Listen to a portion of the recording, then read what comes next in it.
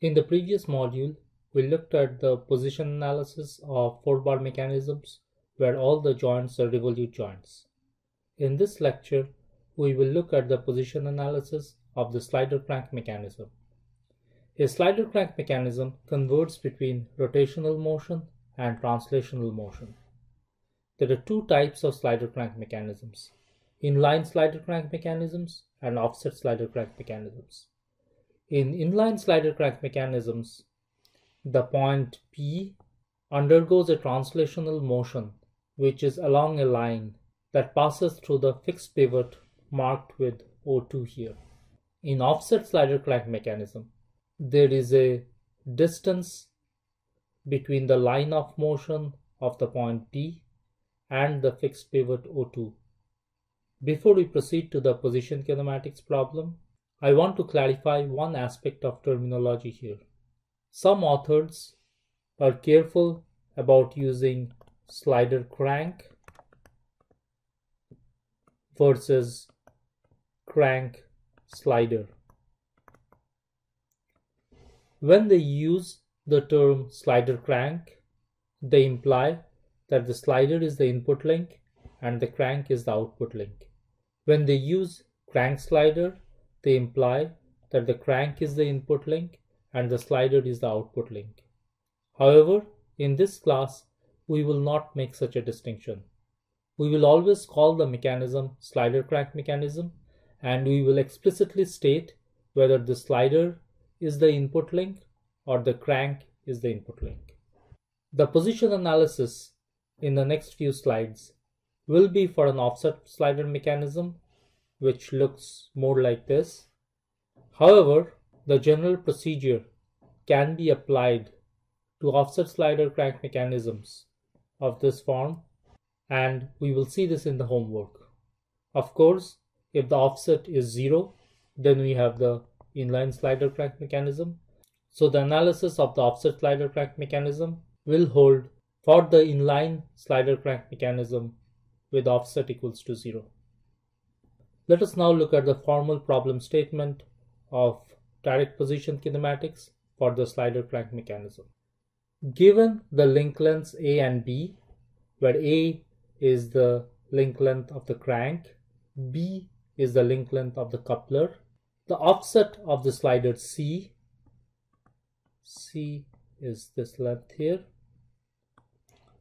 and the input angle theta 2, we have to compute the position of the slider D, which is this length, and the angle theta 3 shown in the picture. In this problem statement, we have assumed that the crank is the input link.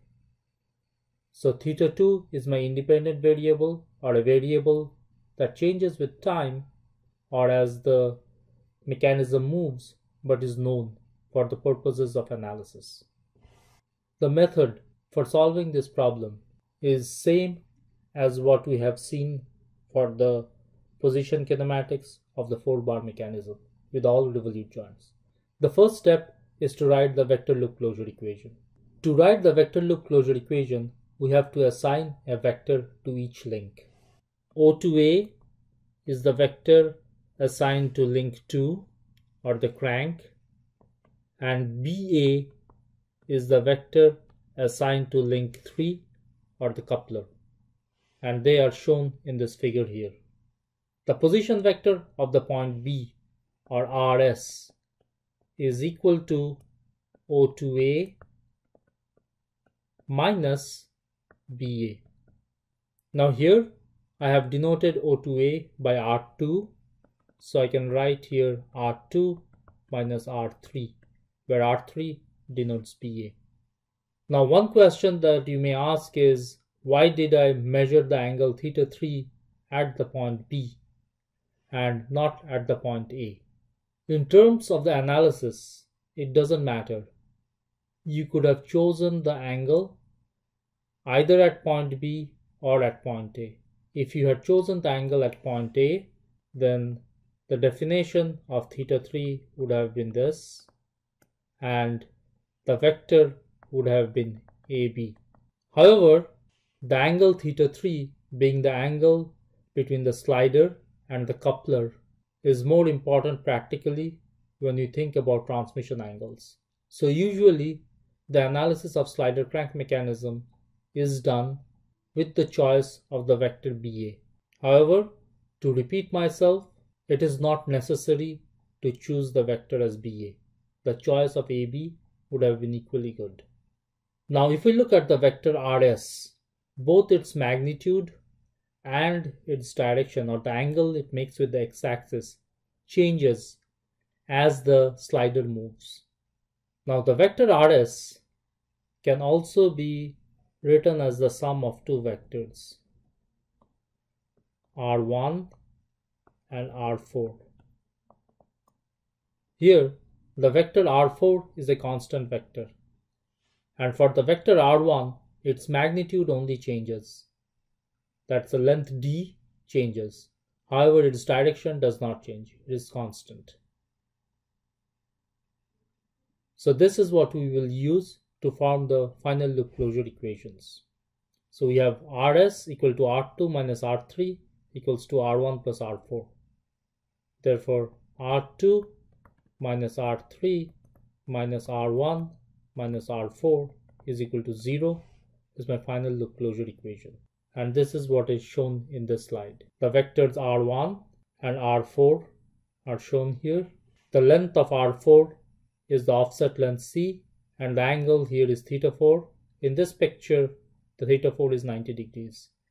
Now the vectors R2, R3, R4 and R1 can be written in complex number form as shown here using the length and the angles of the corresponding vectors. Note here that theta 4 and theta 1 are constants. In particular, for the figure shown here, theta 1 is 0 degrees and theta 4 is pi by 2. If I substitute R1, R2, R3, R4 into the vector loop closure equation, I get the following equation in complex exponential form.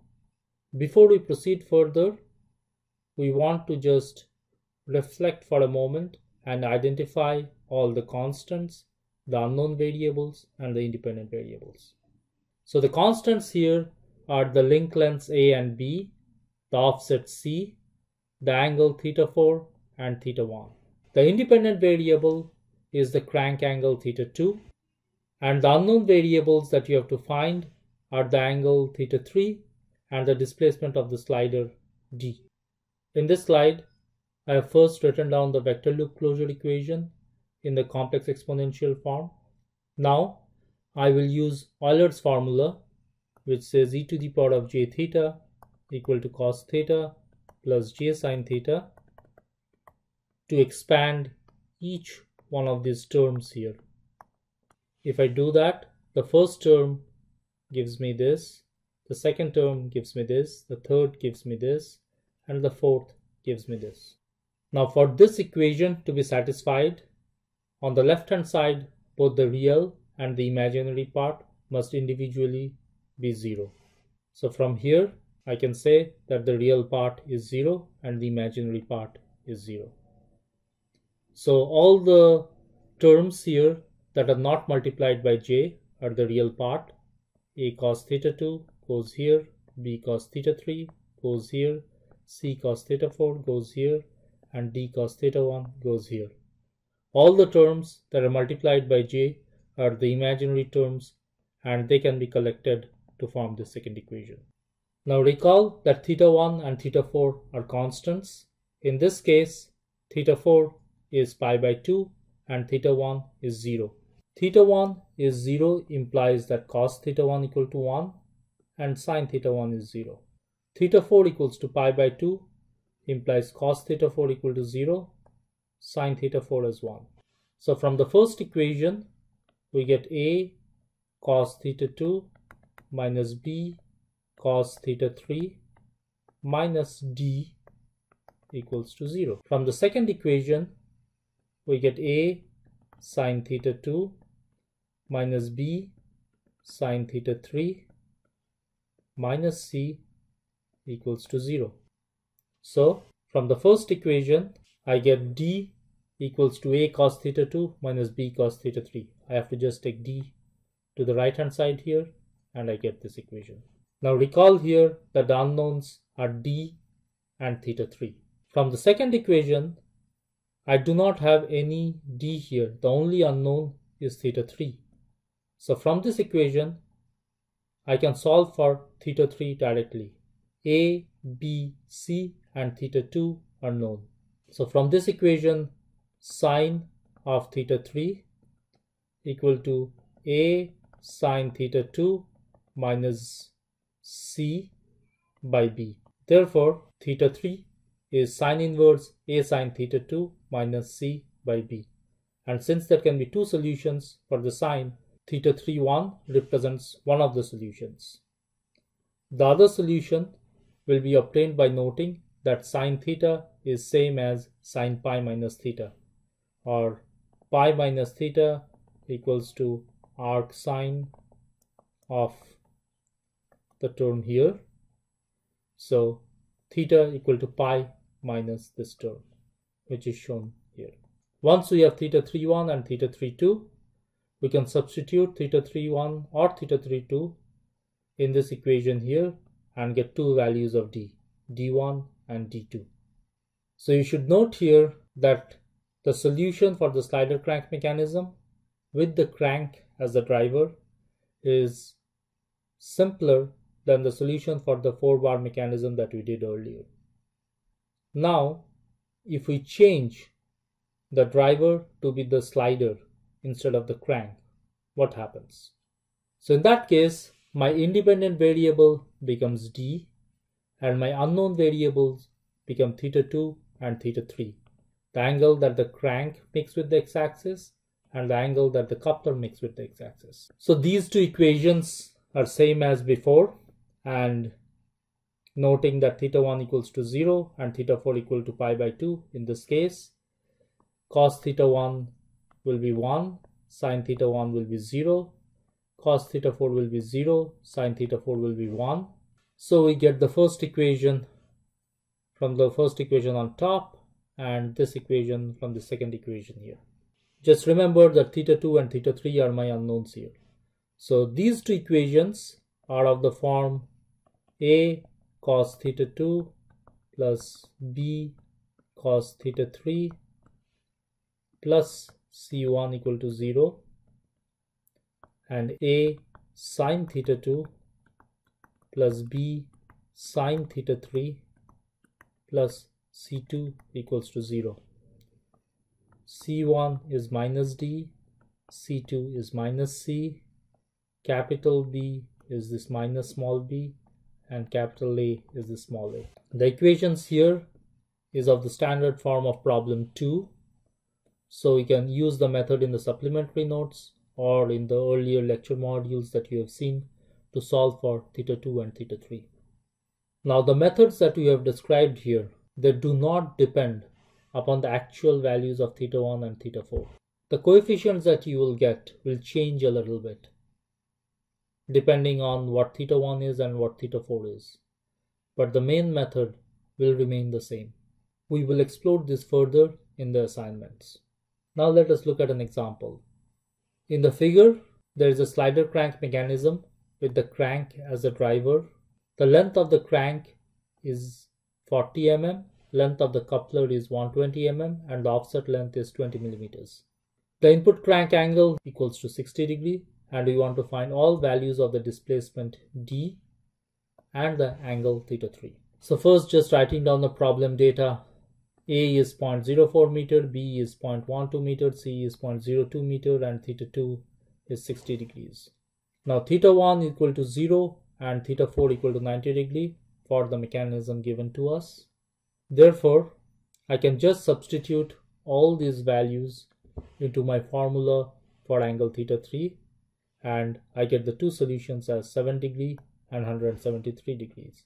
Then I take these two values and substitute in the expression for d to get d1 and d2. Now you will note here that d1 comes to be some negative quantity and d2 comes to be some positive quantity.